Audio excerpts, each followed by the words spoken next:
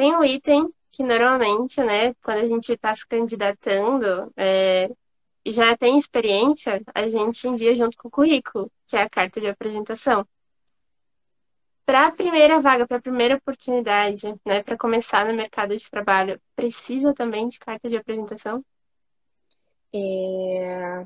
Sim, a carta de apresentação a gente pode usar em todas as situações, mesmo que seja o primeiro trabalho ou o trabalho de 30 anos.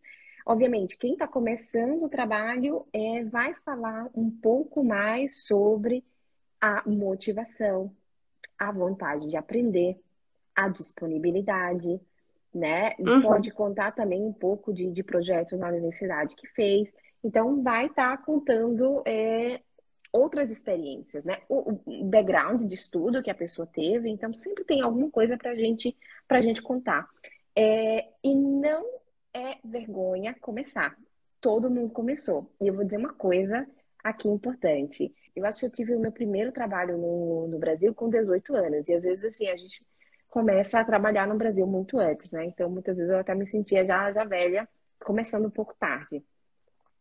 E parecia que nunca aquele primeiro trabalho ia chegar. Parecia que ia demorar tanto para alguém me pagar para fazer alguma coisa, né? E, mas chega, mas chega, faz parte do percurso e vai acontecer também para você que está aí. O teu primeiro trabalho na Itália vai acontecer.